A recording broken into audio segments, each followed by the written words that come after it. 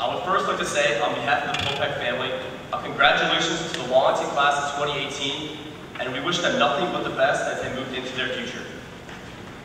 I would also like to thank the Wallington High School administration for allowing my sister and I to continue to represent my family at this event in order to keep my brother's legacy alive and allow our testament to serve as an example on the way people should go forward and act in their lives.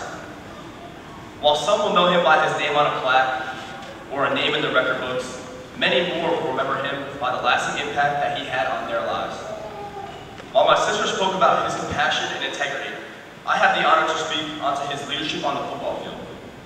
Through his hard work and determination, David earned many successes and honors at his, as his time as a Panther. His rushing title and vast single season and career records awarded him the nomination into the Wallington Athletic Hall of Fame. Despite all his successes, David prided himself most on his ability to bring the most out of his teammates. His encouragement and the example he set to his teammates, regardless of their role in the team, allowed them to have the faith in themselves that extended well beyond their, their years on the football field. At the end of the day, it was not about his own success but his passion to see his teammates become the best they can be. Football was more, more than a sport to my brother.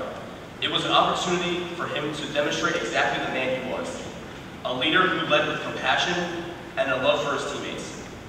He embodied those characteristics in everything he did, and I hope these words serve as an example onto how everyone should live their lives in pursuit of their dreams.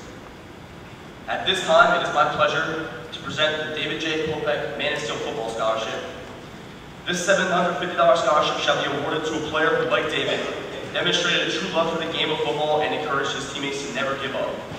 The recipient of this award encompasses the qualities that made David a great football player. Hard work, determination, and heart. This year's recipient is Michael Sudol.